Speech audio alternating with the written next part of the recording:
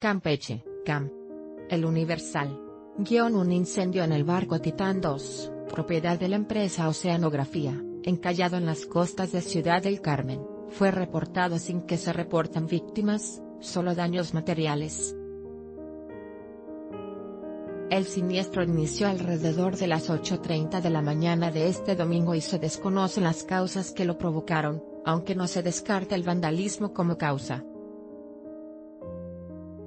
La nave Titán 2 se incendió aproximadamente a 500 metros de la costa de la playa Bamita, donde permanece varada desde 2016. El año pasado también hubo una alerta por incendio en el mismo barco, e incluso organizaciones ambientalistas se han manifestado, pues al estar abandonado en las costas puede provocar severa contaminación en la zona.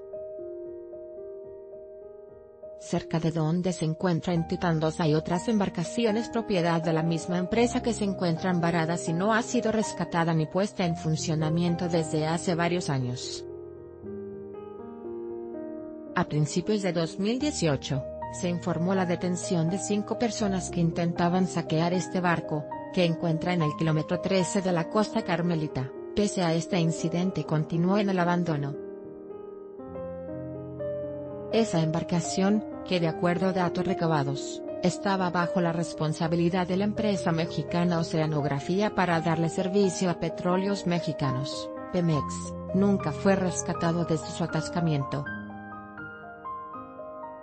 Los primeros reportes indican que el siniestro fue producto de la rapiña de personas que se dedican a la chatarrería, quienes en los últimos meses se han aprovechado de su abandono para desmantelarlo.